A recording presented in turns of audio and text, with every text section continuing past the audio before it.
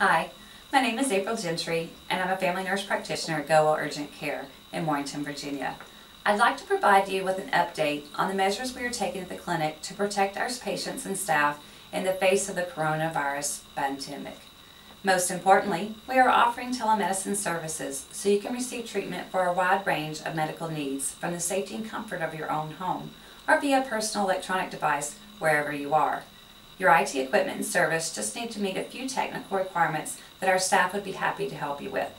Many insurers are now waiving all copay requirements for telemedicine visits.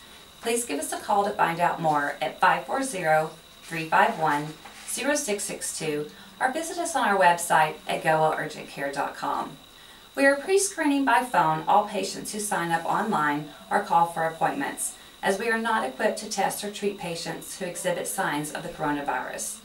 For patients who come into the clinic, we have screening requirements on the front door, a distance barrier at the front desk, and reduced seating to enable patients to maintain proper distancing.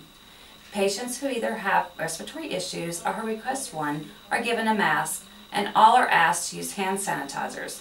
All surfaces of the lobby and the door handles are cleaned multiple times throughout the day. Ex- Exam rooms are cleaned after every patient, whether they exhibit symptoms or not. Our staff are fully equipped with the proper personal protection equipment, and we track federal and local requirements on a daily basis. So, you may be assured that you can receive treatment safely at GoWell Urgent Care, either at the clinic or via virtual visit. Give us a call, we'd be happy to help you.